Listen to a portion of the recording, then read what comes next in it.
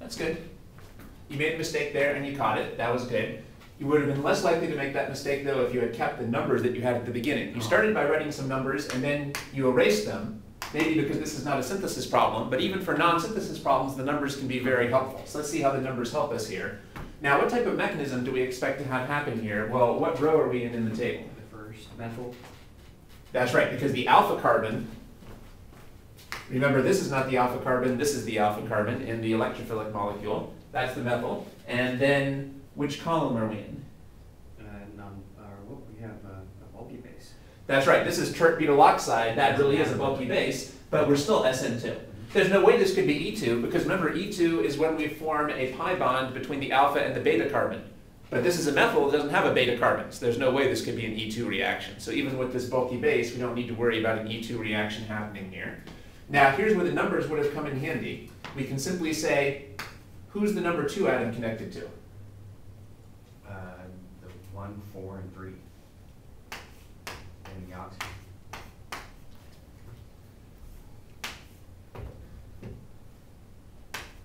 And that's what you left out originally. Originally, you left out the oxygen. But when we put in the numbers, it's easier to articulate who's attached to who. And who's the oxygen attached to? The methyl group. That's right. Maybe I should have given this a number and called this the number five. So numbers are useful not just for synthesis, but anytime you have a complicated product to draw.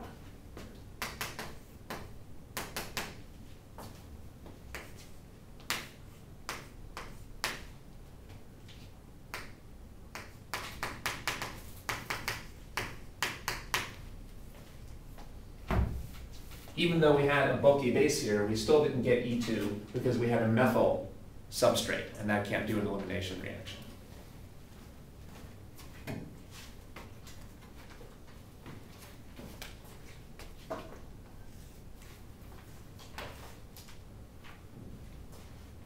This was yet another example of our Williamson ether synthesis, an alkoxide plus a haloalkane attacking an ether.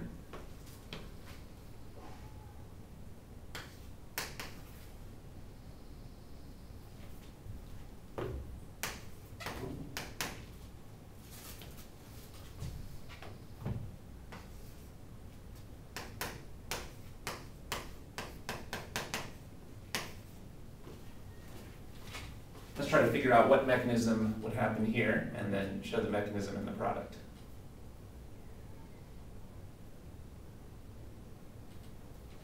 Mhm.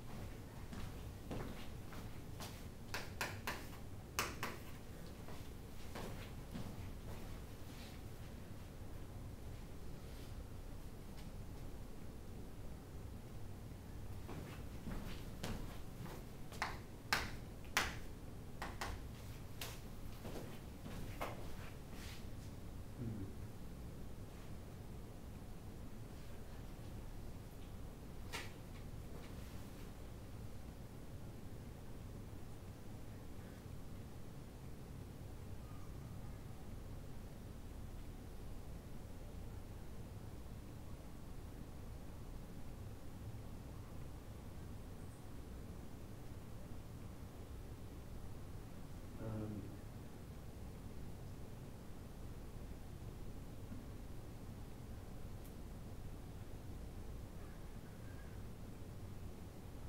Looks like you're trying to use the table to predict the mechanism. That's good. In order to use the table, we have to identify the alpha carbon.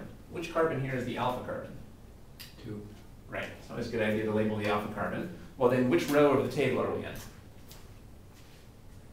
Um, we're in the last row. Tertiary. Good. And which column? Um, We're in, uh,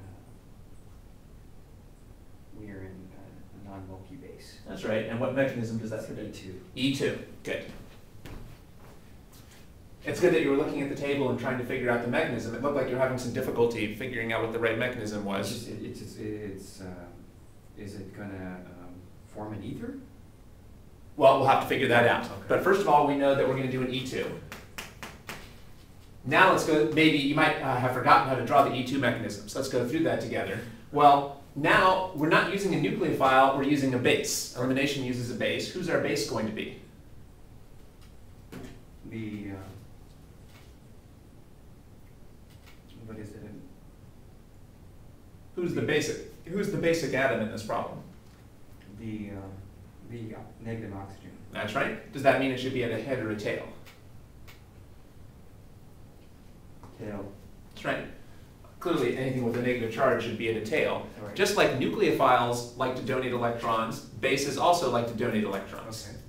Remember the Lewis base definition of a base is something that wants to donate an electron pair. Now, what do bases do? Remember what the Bronsted-Lowry definition of a base is. What is it that a base does? What makes it, what's the difference between a base and a nucleophile? A nucleophile joins a substrate. What, what does a base do? Uh, base just, um, I, I, I, Thinking back to chemistry, what, what do acids and bases do? accept and donate protons. There you go. Well, which one does the base do? Um, it donates, or, I always get it mixed up. So that's going to be important for the whole rest of the course. Going back to general chemistry, it's crucial to know the difference between acids and bases. What do acids do and bases do? Well, Acids are, are proton acceptors. Do you know whether this is an acid or a base? Um, that's an acid. Okay. And do you know whether this is an acid or a base? Base. Okay. Well, if you know those two things, then we should never have any trouble figuring out the difference between acids and bases. For example, well, well, well, we'll see. For example, does this look like it wants to gain a proton or lose a proton? Um, it wants to lose a proton. Right. Well, what's the symbol for a proton, by the way? How would I write the symbol for a proton? What, what, what, how do we write a proton in chemistry? Don't we write, don't we write protons like this? Have you seen this symbol used for protons? So protons are positive. Yeah. Well, clearly this doesn't want to gain any more protons. That would give it a positive two charge. Mm-hmm. Remember, nature doesn't like charges. Mm-hmm. Nature doesn't want this to have this positive charge. It wants it to get rid of the charge. So what did we decide? Does this want to gain or lose a proton? It wants to lose a proton. Right, so it wants to donate a proton.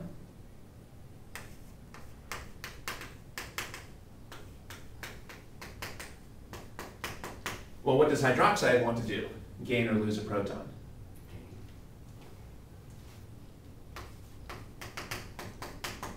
This wants to gain a proton because it has a negative charge, and it can get rid of that negative charge by gaining a proton.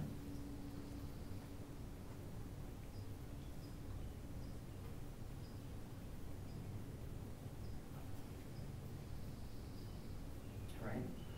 By the same token, we can review whether acids and bases want to gain or donate electrons. When you're ready, by the way, the name for this is hydronium. It's good to know the name for H3O+. H3O plus is hydronium. And OH minus is hydroxide. Well, does hydronium want to gain protons or lose protons?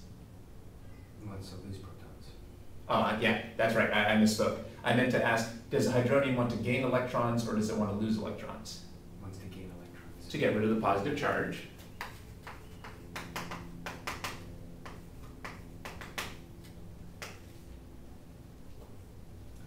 This is the symbol for electrons, E minus. Mhm. Hydronium wants to gain electrons. Correct.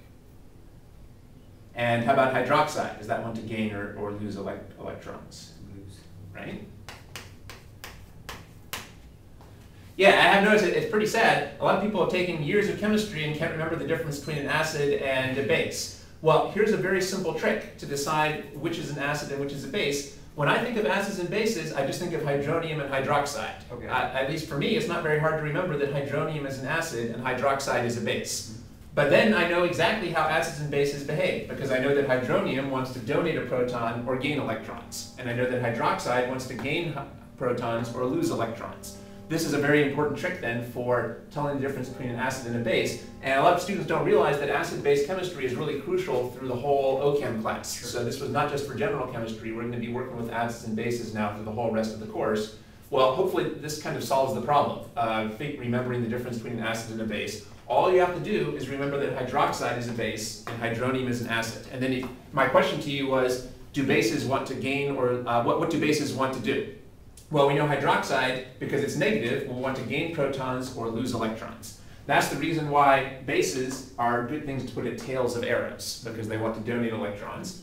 And what does this want to gain? And we, it helps us remember again, this wants to gain a proton. So again, I would say to myself, well, hydroxide would want to gain a proton, so this wants to gain a proton. It should really be obvious, because this is negative. Negative things want to gain positive charges. It certainly doesn't want to lose a positive charge. That would make it even more negative. Well, that, that was a detour, but that, that's a very important detour.